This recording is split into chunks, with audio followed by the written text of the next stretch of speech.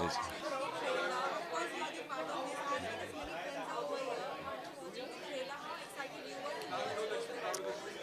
किसी शादी में जाने के बाद जैसे लगता है ना कि लव मैरिज से पहले लोग एक दूसरे को तो जानते हैं, लेकिन अभी शादी होने वाली है। So every one is very excited बहुत सारे लोगों के एफर्ट्स है, बहुत सारे लोगों का प्यार है।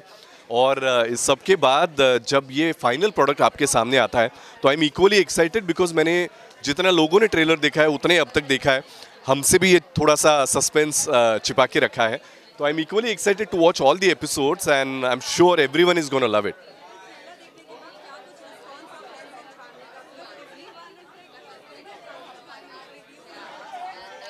this will be my first O T T debut I would say in Hindi अब तक मुझे लोगों ने रीजनल ऑब्वियसली मराठी फ़िल्मों में और डेली सोप्स में देखा है, देख रहे हैं।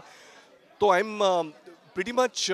excited and happy with the fact कि जिन जिन देशों में हिंदी बोली जाती है समझी जाती है uh, उन तक पहुँचने का ये बहुत अच्छा मौका है और uh, वही जैसे आपने पूछा कि मेरे घर वालों और uh, मेरे दोस्तों के बीच में भी वही फीलिंग्स है कि they are equally excited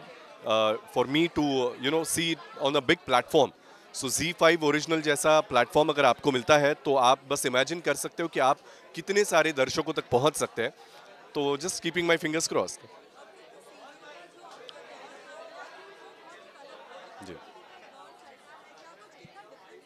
मुझे लगता है अल्टीमेटली आप कौन से भी प्लेटफॉर्म पे काम कीजिए अल्टीमेटली आपका काम तो एक्टिंग ही है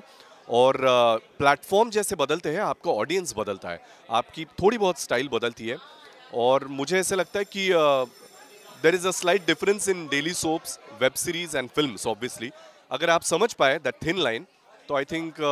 you can do wonders so I am very glad to work with mister Pradeep Sarkar Ejaz Khan sir and Goldie Behl sir कि उनके गाइडेंस के अंडर एक बहुत बड़े प्रोजेक्ट का हिस्सा होने का मुझे मौका मिला and really looking forward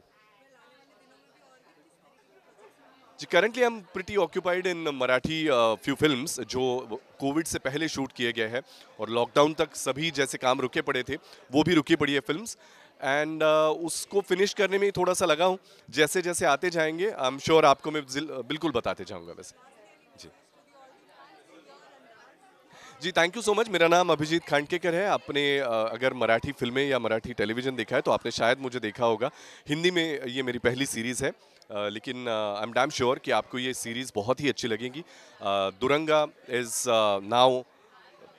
showcasing on Zee five premium and I am sure आपने सब, सभी ने अब तक इसको सब्सक्राइब किया होगा। और आपका रिस्पांस कैसे है, हमें कमेंट्स में बताइए on I am looking forward to it